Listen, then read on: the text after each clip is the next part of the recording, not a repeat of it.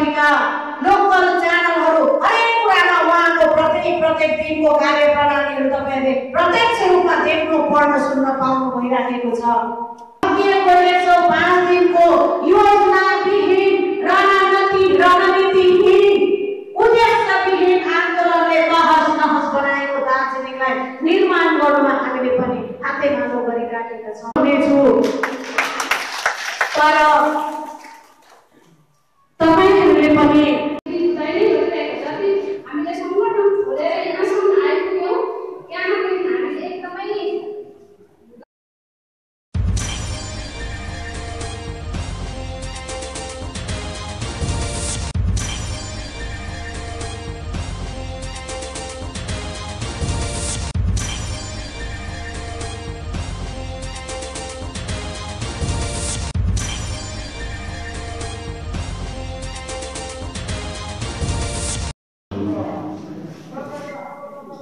धेरै टाढा टाढाबाट आउनुभयो।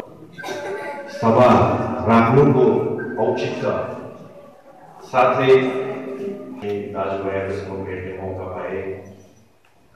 मलाई अध्यक्ष महोदयले एउटा जिम् जिम्मावारी दिनुभएछ।